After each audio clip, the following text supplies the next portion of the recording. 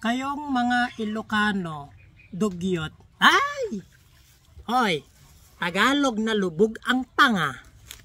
Na yung kilikili ay amoy langka.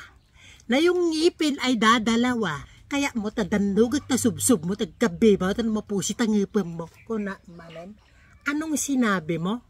Ilocano ay dugyot. Hoy, for your information, Excuse me with feelings and emotion. Kuna manin, kasalukuyan akong nagkakape kahit tag-araw. Kuna maninang kinyamon. Mm.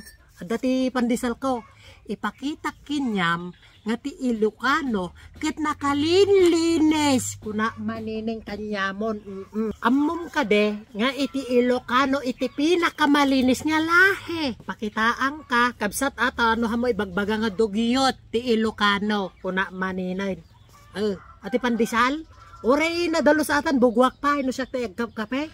Bugwak ta pandesal. Mm, sakka na yun. Ganito nga karilis ang Ilocano nga kuno ti Tagalog. Oh, yan. Mm. Oh. Linilinisan ko yung tinapay bago ko kainin, kunak. Mm. Makapagsalita ka, baka ikaw amoy kambing ka. Kuna manen. Mm. Ganyan kami kalinis na Ilocano. Oh. Oh.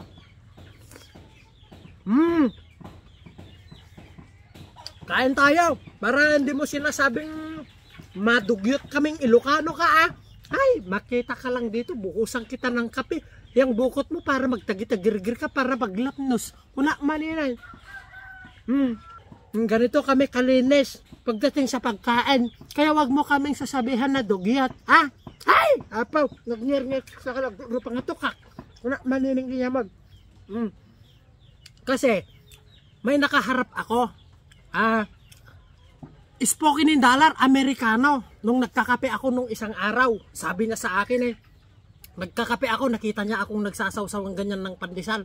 Tapos eh, kinakain ko ganyan. Mm. Filipino is very clean. Kunana pa eh, oh, yung Amerikano nga, pinupuri akong Ilocano. Ikaw sinasabi mong dugyot. Ay! Hoy, rinukir kutik mo. Ako na man. Tapos nung nakita ulit nung Amerikano na sinawsaw ko ulit. Mm, wow! Filipino is very clean clean ko na. Tapos kit, ininom ko ng ganito. Ay! Filipino, dugyot. Kunana kit din ne! So nga, bagam nga dugyot ni Ilocano. Ay, excuse me. Mm, adi nagbugwak nga kape isumul at inumag. Ah, dugyot ko nam kiden. Eh, unti maaramit pa nagbiag mo. Oh, content man lang dahito ina baka ibasdak manin. Mm.